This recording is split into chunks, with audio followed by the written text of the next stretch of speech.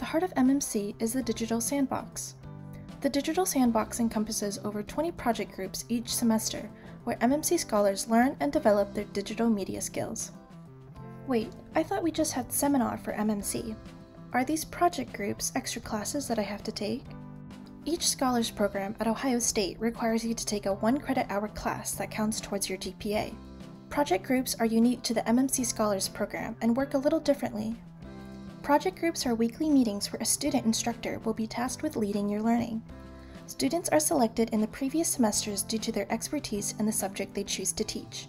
After being selected, these students are asked to develop a project group complete with lesson plans and assignments. Each project group offered has a different focus. Some groups are focused on a single software, such as Premiere Pro, Tableau, or the Unreal Engine while other project groups such as professional development and social media marketing focus on a broader subject while introducing you to concepts and tools along the way. You earn points for every time you attend these project group meetings and complete the assignments the student instructors have designed for you. To earn the full 20 or 40 points associated with each project group, you must attend all meetings and complete all assignments to the satisfaction of your student instructor. That means it's possible to gain only 14, 17, or 5 points, even if you've completed the project group. Now that you know how project groups operate, here's how you participate. In the fall, project groups start the second week of classes. While 14 week and 7 week project groups start at the same time, 14 week project groups have one session per semester, while 7 week project groups have two.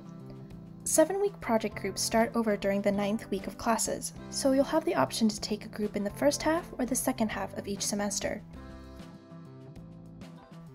The first week of project groups is always online. Head to the Digital Sandbox schedule to figure out which project group fits your interests and your schedule. Once you've decided, all you have to do now is show up to the first Zoom meeting. The instructors will take attendance and make sure you receive points for your effort at the first Zoom meeting, your instructor will inform you if the following meetings will be in person or online.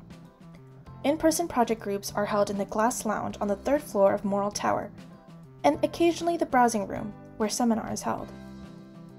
What if I tried out a few project groups the first week and some of them weren't for me? What if I only want to take two out of the three I tried? You will still get credit for attempting a project group, but if you don't think a project group is for you, then just let your instructor know and you will be dropped. What if the third week comes along and I decide I want to join a project group? This may or may not be possible, so your first step should be contacting the instructor of the project group you're interested in to see if you're able to get caught up to the group. Once you get the information you need, start attending those sessions.